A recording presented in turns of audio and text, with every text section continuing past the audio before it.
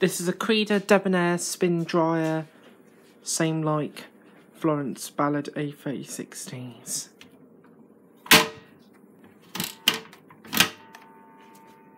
And it has a very long start bin up time.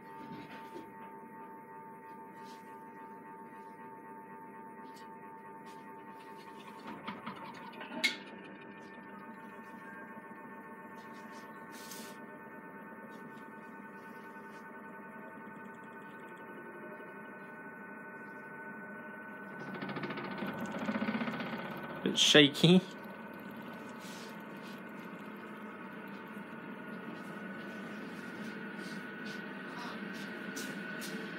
Got a rubbery, squeezy spout there.